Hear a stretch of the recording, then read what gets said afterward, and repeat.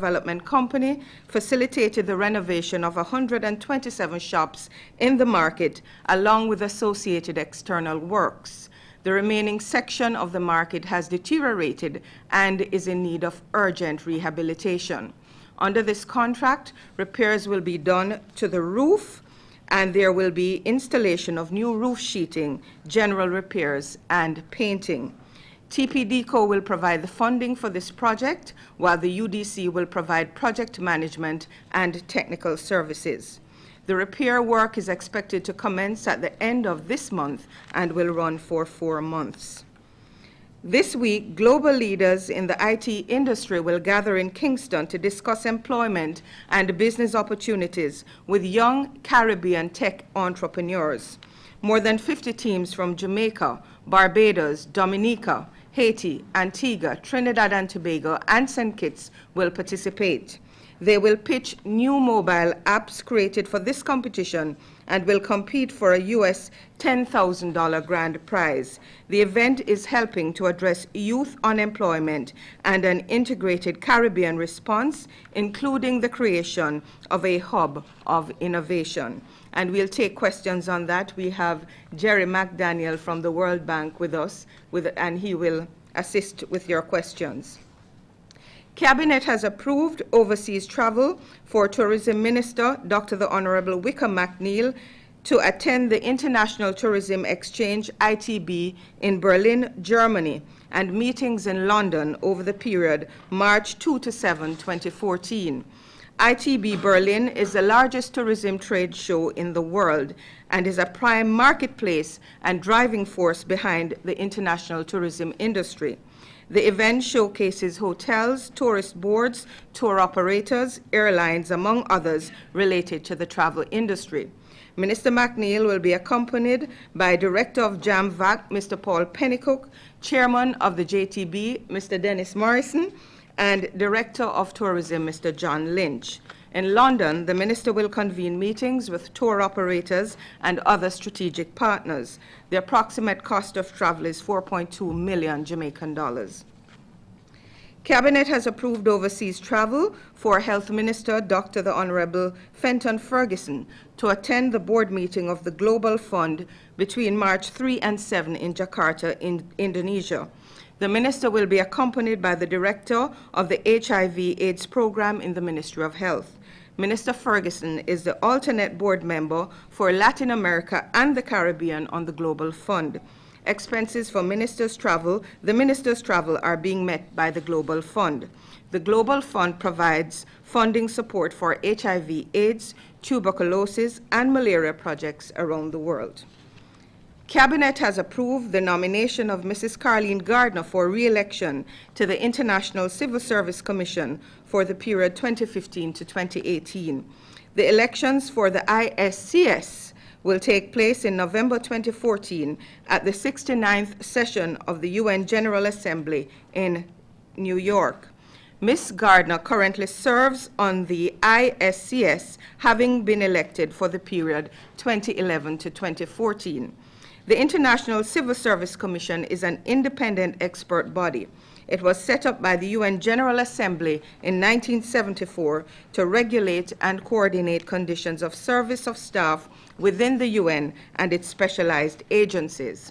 It seeks to promote and maintain high standards in the international civil service and makes recommendations with respect to conditions of service standards, conditions of service, standards of recruitment, salary scales, entitlements and benefits, training, and other human resource policy issues.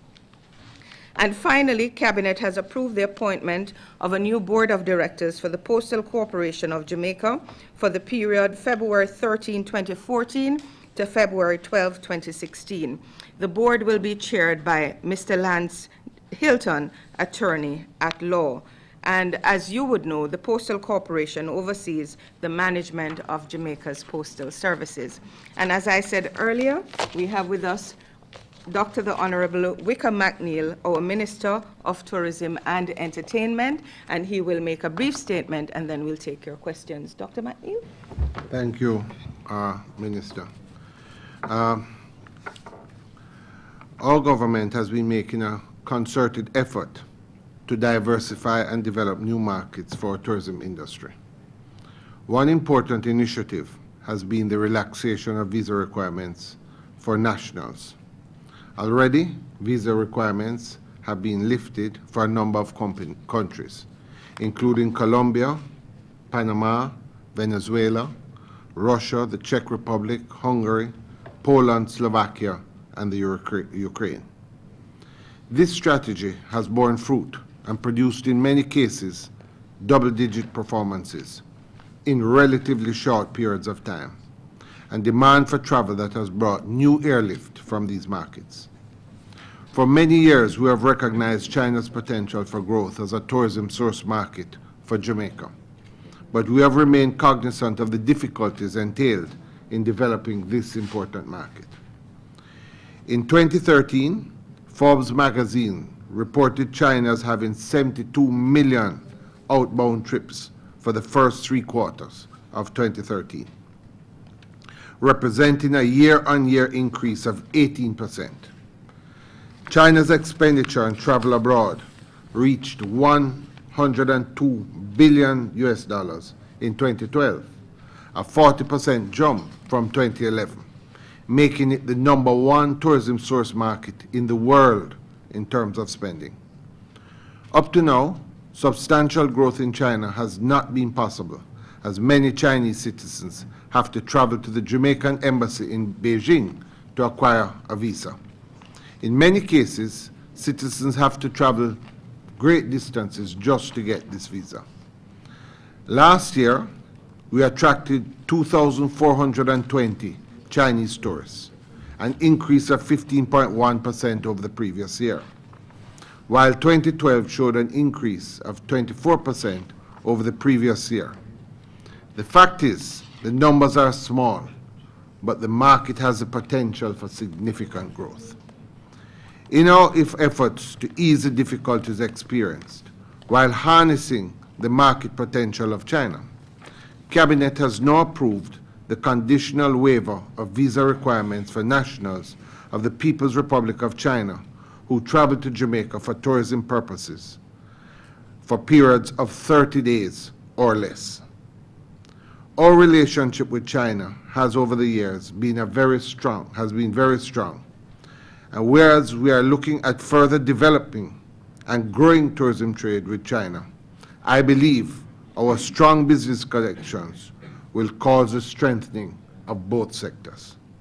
My team and I will now be looking at strengthening the marketing efforts of the JTB, a part of which will involve the Director of Tourism and I attending the Shanghai Trade Show in April. We'll also be continuing our efforts, our discussions on developing airlift arrangements from the region. The new visa regime will come into effect in a few weeks' time, as soon as the Ministry of Foreign Affairs and the Ministry of National Security and its agencies institute the preliminary processes to effect a smooth implementation. And I would just like to place on record the tremendous assistance, the, the, help that we have been getting from the Minister and the Ministry of National Security and its agencies, um, especially PICA, in this whole process that we have been undergoing of opening the markets. They have worked with us um, every step of the way um, in terms of the visa relaxations. And, and just to say that the, the efforts that we have put in place in, in relaxing these visas in no way weakens the border patrol, the border Control. um, controls that we have in place.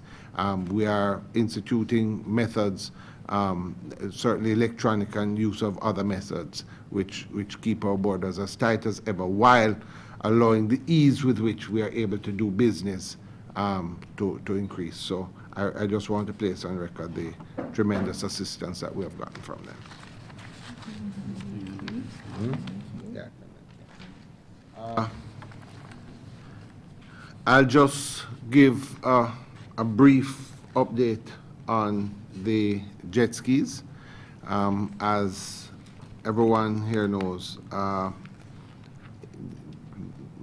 week before last in Parliament, we I, I made a statement and we instituted some tighter controls in terms of the use of jet skis. Among those controls was uh, a six-month suspension on the importation of all jet skis into Jamaica, both private and um, for commercial purposes. The, the second thing was the clampdown, the cessation of all jet ski activities until we had a chance to regularize the sector and get it under control. The third was the registration of all jet skis in Jamaica. And then the, the fourth was the lifting of the moratorium on the issuing of commercial jet ski licenses to allow us to regularize the, the problems that we had in Jamaica now. Um, I, I, want to, to thank the Tourism Product Development Company, Mr. Hickey and, and, and Brady um, from the Maritime Authority who have been um, leading the, the process. And, and just to say that uh, already there have been, the, the, a task force was put in place and they have been meeting and, and doing all the things that are necessary. As of Sunday, advertisements will be put in, in um, both papers, which will indicate where and when registration will be across the island. Um, we recognize the difficulty with the registration, so the, the Maritime Authority, which has responsibility for it, will be moving to the different areas and doing registration and will indicate, um, the press release will indicate the, the venues, the schedule for, for registration, and the documents and items that need to be taken in to the authorities. Also, uh, the task force has also indicated that all jet skis now operating will have will be issued a decal which will be put on it um, the decals have now arrived in the island. This is a um, example of how the decals will look on the jet skis. This will be a private jet ski. The commercial jet skis will have a C and will be on a, a red background um, for the, the use of the, the jet skis. That process of registration is, is, is ongoing. And at the same time, the task force is also looking at the rules and regulations that will be put into each area.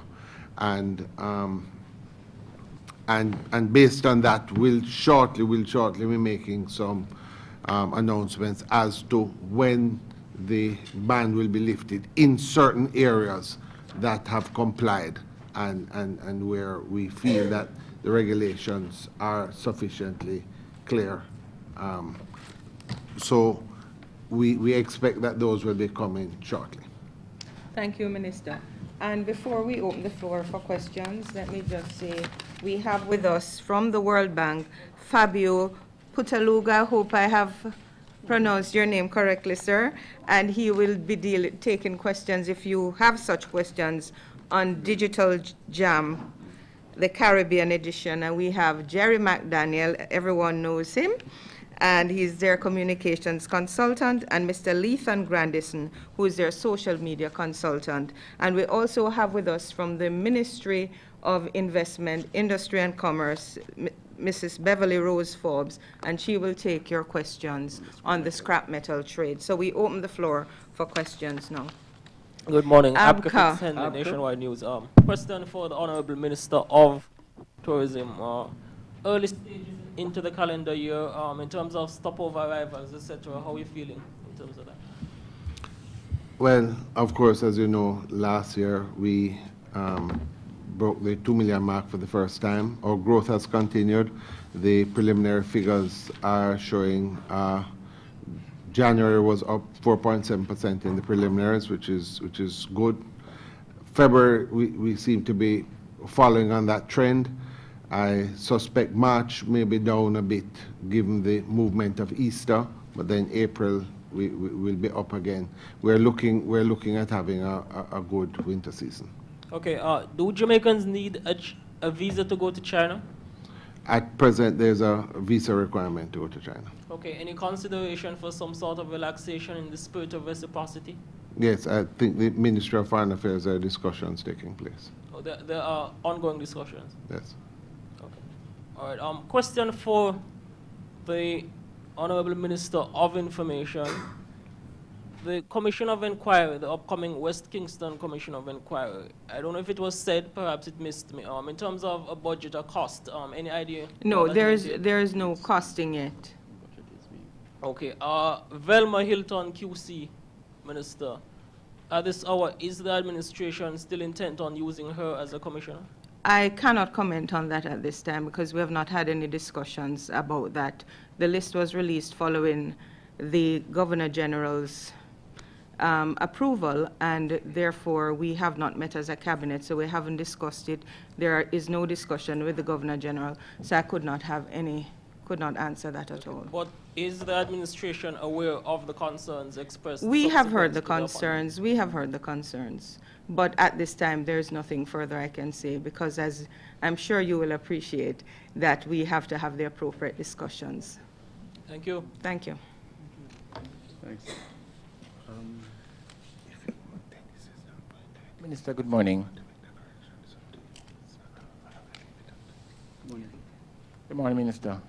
I'm not sure if this microphone is on. It is. Yeah, you- you. Um, thank you. Minister, the,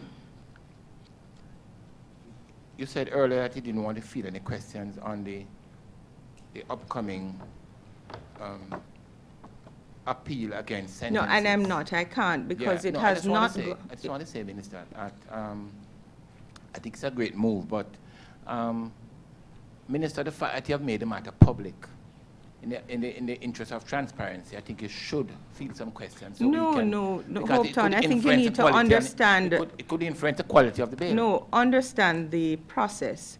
It was a cabinet decision for this matter to be sent to the chief, issued drafting instructions to the chief parliamentary counsel. The legislation has not yet been drafted, so there's not much more I can say on that. I know, but it is now a public matter. you Yes, have now brought it to us as a public matter. Hope Town, I think you're flogging a dead horse. We cannot say more on that. Allow the legislation to be drafted. It will be debated in Parliament. We will have ample time to have discussions on the details. Uh, Minister, um, I have some concern about the, the question of reciprocity, recip- Reciprocity. Reciprocate, reciprocate arrangement for Jamaicans getting visa to anywhere, because if we are relaxing the visa, in the interest of good faith, it would be only sound appropriate to me that it should be done on both sides. Hope in Town, good I'm sure you heard the minister say earlier on. No, but the minister didn't address it. The minister didn't address No, it. but the minister said that there is ongoing discussions between the Ministry of Foreign Affairs and the Chinese. So therefore, I think you ought to leave it at that. When those discussions are completed, we'll update you. Yeah, but Minister, I also noticed that I understand that the Chinese ambassador speaks English, and you have, have asked us not to speak to him. Why, why is that so, The Minister? Chinese ambassador, when the press conference is over, if you have any questions that you wish to ask the Chinese ambassador, and if he wishes to answer, you may ask him after the press briefing But is even a reaction to this relaxation. we- we- Hope Town, we- do you have any further questions? Do we have any other question? Uh, Minister, Um, t- tourism, Hope Town, Honorable Hope Tourism Town. Minister. Hope Town, allow someone else and we'll come to you. Darren Luton from the Gleaner.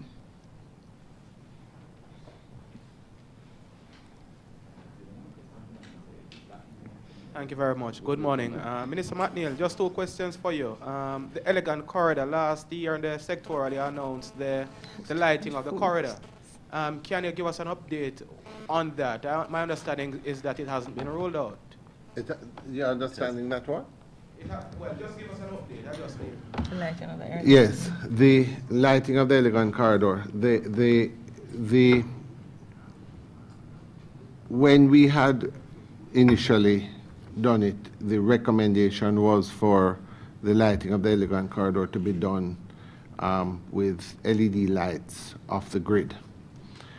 We had some further discussions late last year with the National Works Agency and indicated that we wanted to, to explore the, whether or not even with all the discussions that had taken place before, whether the solar option was possible.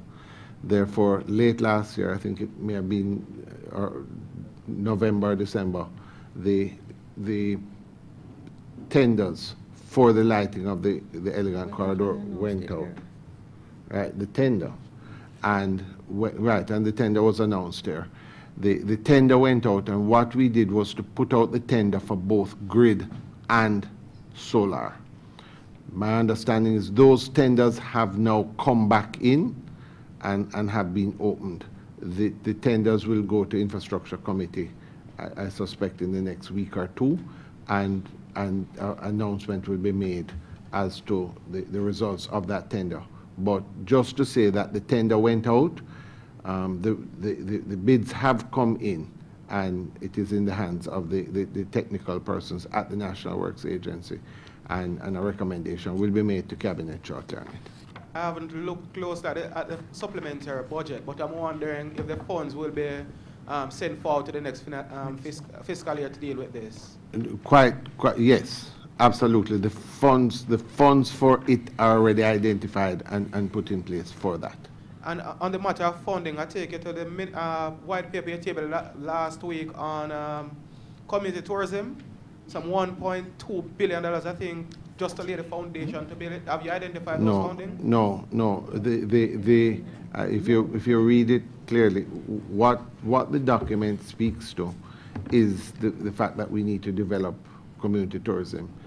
Um, in developing community tourism, there's a lot of infrastructure that's desirable. Not all is necessary at one time, but that it is desirable. Things like the roads, health centers in the area, um, signage, a, number of issues. And, and, and the, the, the consultants and the ministry, in looking at it, looked at all the things that would be ideal for us as we develop community tourism. Now, it's not going to be done all at one time, and it's not all done by the Ministry of Tourism. Um, all agencies, departments, is all part of it. And, and part of the important reason, one of the reasons why we do these policy documents is that the policy document is circulated so that all departments and agencies of government and private sector too can look and see what the direction of government is. So it's not a matter of having a budget in place for that as a specific item. It is, is really the policy. We are going to roll out uh, and already have a number of community tourism projects um, operating. What we're looking at is creating the framework so that we can get more and that persons who are interested are able to, to better access um, assistance with the um, human resource development, training, um, funding. There's funding available in a lot of cases, but we, we want to do it in a structured manner. So a lot of those things are put in. So, and, and remember, this is the green paper. We're, we're putting it out for discussion in a wide, in a wide way, and, and based on those discussions, it will come back and, and will be tabled as a white paper in Parliament for debate. Thank you very much, Minister. Uh, Minister Falconer, may I have a, a question of you? Um, in relation to a private member's motion passed by the Parliament, which, which would have been sent to Cabinet, we haven't heard much about it in relation to changing, renaming of the, the throne speech. Has Cabinet discussed that matter as yet? It was discussed, but I think it was discussed briefly some time ago when the motion had gone, but we have not made a decision on, on that, no. You're aware that um, the Cabinet um, should report to Parliament, I think within 21 days of passing the motion having been sent by the House? What, what would be causing the delay at the level Well- of the Cabinet? Well, I can check with the cabinet secretary to find out what, what is the latest on that and let you know. Any further questions? Karel from the Jamaica Observer.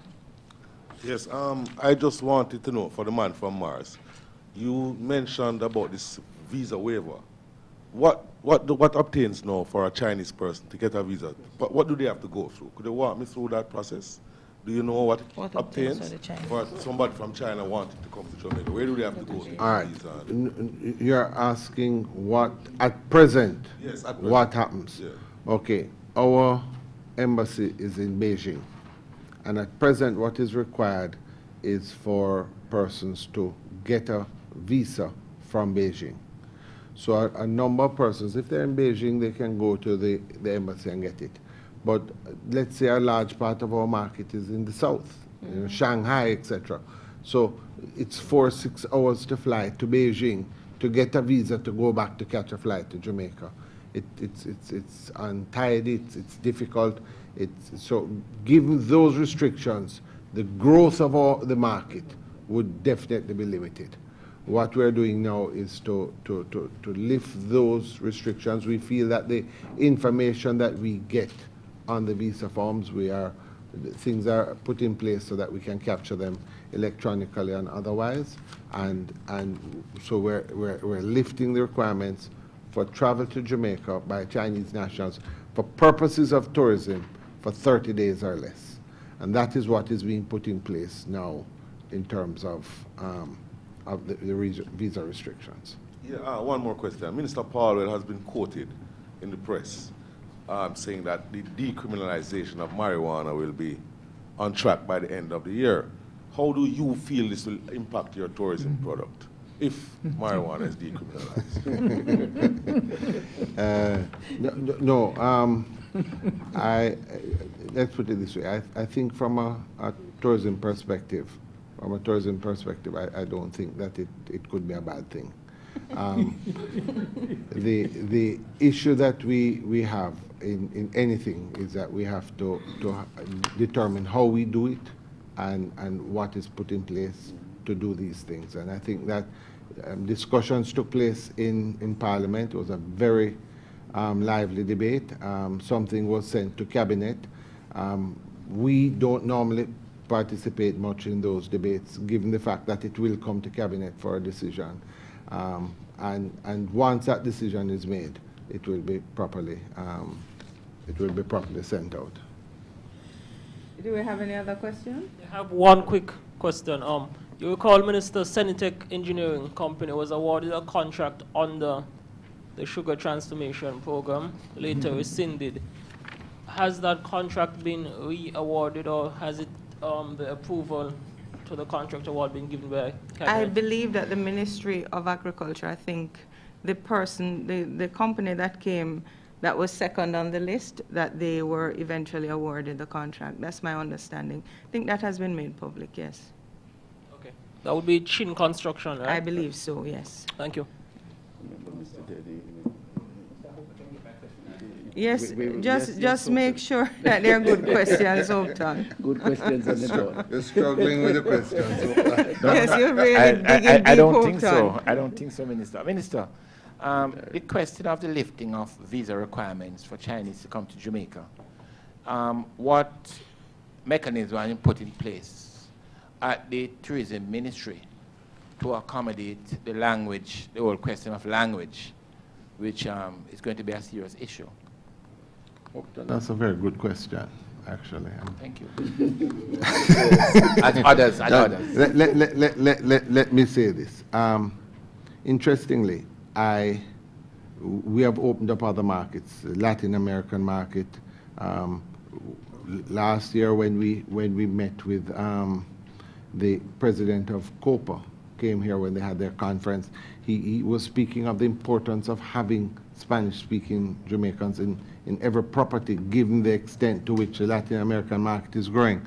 Uh, the last year, we opened the Russian direct flights with Transaero, that opened up the Russian market. We have had phenomenal growth out of Russia. And we started a language speaking courses across some of the resort areas. It was, it was in Negril.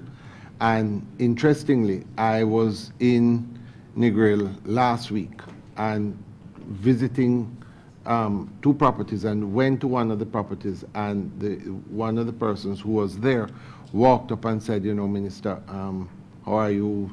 Was, was very happy and lively and, and, and said to me, you know, he's doing the, the, the, the Russian course and proceeded to speak, I mean, well, I, I don't speak Russian, but fluently in Russian. So I mean, what I you- was what very, you Well, thought, it I what was- you thought was fluently.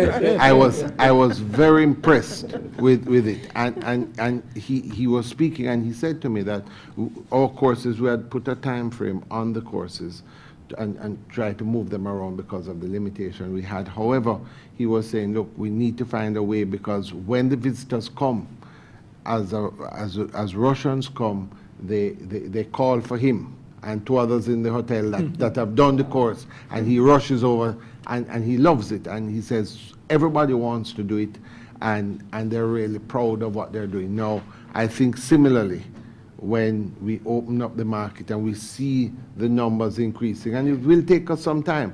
There's a, there's a lot of work that has to be done. We have to go into the market in terms of the, the marketing um, behind the, the gates. We have, to, we have to look at the airlift. It's a long distance, very difficult.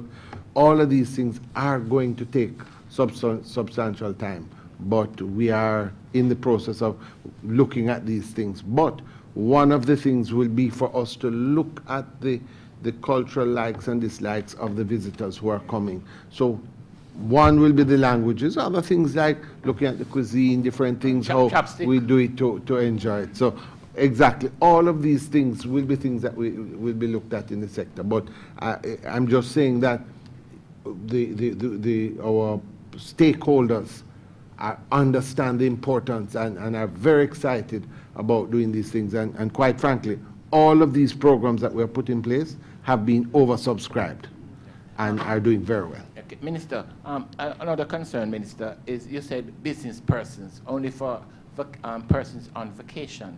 So business persons who want to do business trips to Jamaica um, to make investments, etc., they will not get this visa, or they will have to go and get a visa?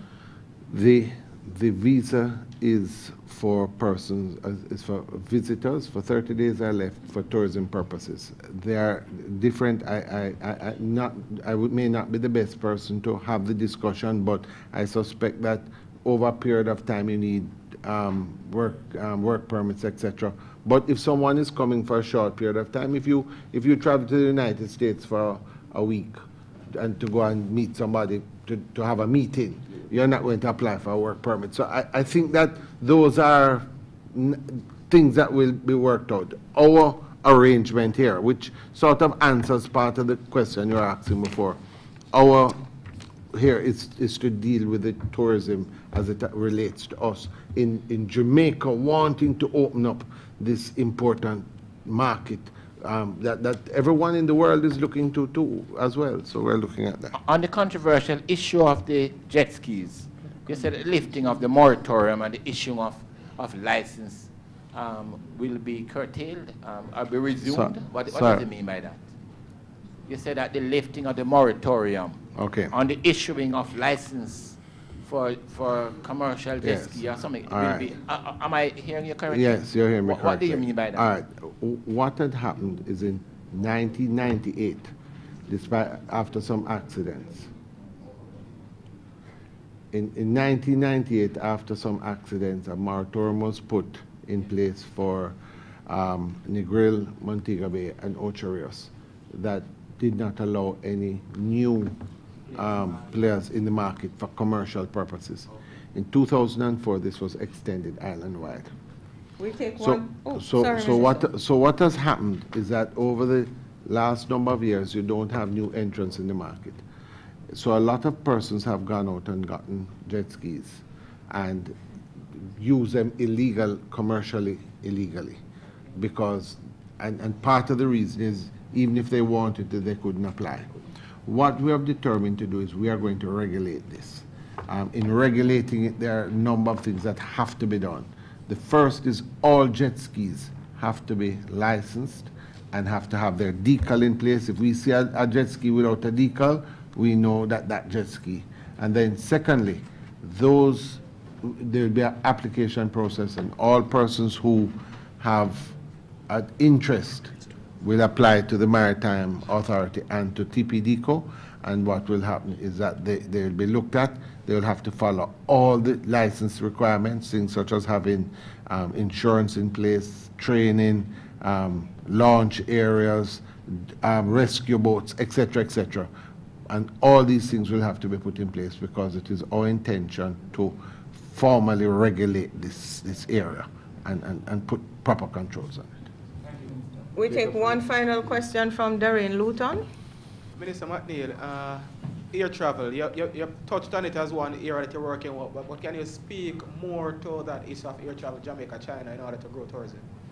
No, it's, it's, it's early days for that. Um, obviously, we're not going to go into the market with direct flights. We are going to have to look, working with partners um, to see how we can do um, the travel. A lot of it may, by first instant, have to be multi-destination. We'll have to look at the persons. There are a lot of flights into places like Houston. We have some in New York, different areas, and, and you know, you, you know, even some of our Caribbean countries where we have, um, where we can look at this. So what we will do is we go now to the trade show. There's an outgoing, there's an outbound trade shows are held annually in the period of about, it's, it's in April. Um, you meet with the travel agents, the tour operators who actually move people. And then you have discussions with them to see what the possibilities are. Um, you look at the airlift arrangements in place, how we can make airlift deals with it. As I said, it's a process. Um, it's similar to how we had to deal with the Russian market.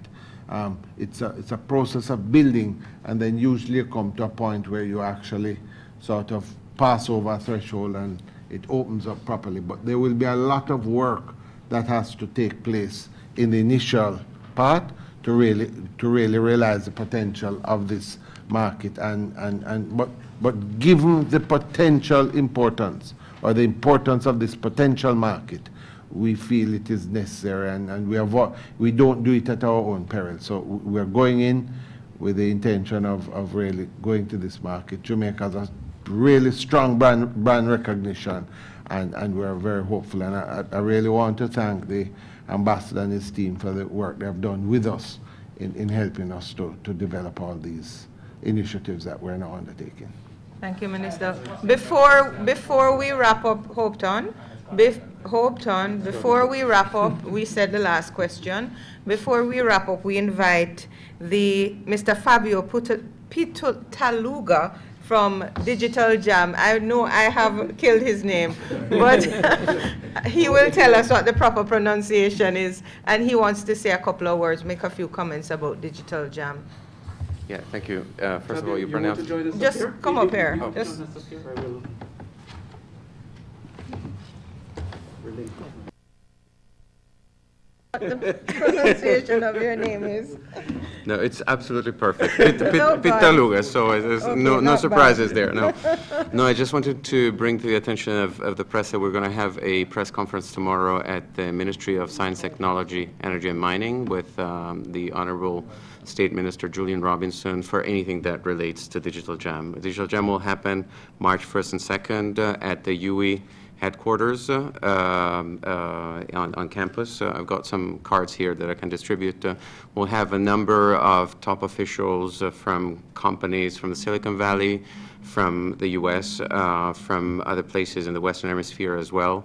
We will be having a, um, a, a roundtable, the first roundtable discussion on angel investing in Jamaica with, organized jointly with DBJ, PSOJ, and JAMPRO, and also um, a possibility of crowdfunding. And so it's, it's kind of a series of very interesting uh, discussions that we're having. We'll also have a number of CEOs uh, of uh, key incubators and accelerators uh, to try to really uh, establish a tech entrepreneurship environment uh, here in Jamaica as a hub for the Caribbean. So I'd really like to invite the press tomorrow. Daraine, you have a question? I wanted to know what exactly is, is Digital Jam and what is it hope to achieve? Sounds like a session. So, so Digital Jam is, is an initiative uh, jointly done by the government of Jamaica and the World Bank in partnership. Uh, uh, we've launched it at King's House about uh, three months ago in uh, November, and uh, it includes a competition for uh, mobile apps development uh, that has been launched Caribbean-wide. We've had 180 uh, teams participating throughout the Caribbean, uh, about 56 of which made it to the finals. Uh, That's about 160 young kids from all over the Caribbean who are coming to Kingston this weekend, and will be pitching um, their ideas and their prototype. Um, we also have had a number of workshops uh, throughout the region uh, to promote uh, online uh, work opportunities. Uh, and we're having two companies from the Silicon Valley uh, right here in town right now, um, Crowdflower and Mobile Works, uh, who are today at NCU. Um, and there will be running workshops, basically illustrating how you can um, go online and work uh, legitimately, do legitimate work and be paid, uh, um, which is very important for issues of unemployment, especially for small markets like Jamaica, because you can have access to a global market uh, and uh, earn also foreign exchange in the in the process. Uh, so there will be demonstrations and uh, workshops at the conference itself, so where people can come in. We set up two rooms with computers and connectivity. You can, you know, young person can Anyone go. come? Anybody can just visit? This is free, uh, so anybody can, can visit. Uh, the, we have a Facebook page where registration can happen. It's uh, uh, facebook.com slash digitaljam3. And uh, there's a link there where you can register via Eventbrite, but it's free and it's open to the public. Uh, Thank you so much. And we want to thank all of you for coming this morning. We want to thank the minister, Mr. Morrison, all our guests, the Chinese ambassador for gracing us with his presence. Thank you, sir. We want to thank Jerry and Mr. Peter Luga from the World Bank. I got it right, great. And we want to thank the press for joining us. We have no briefing next week. Those of you who watch the calendar, you will know that it is Ash Wednesday. It's a public holiday in Jamaica. And so we want to wish all of you a wonderful rest of the week. And to our viewers on PBCJ and the World Wide Web, have a wonderful day. Thank you. Thanks, Minister.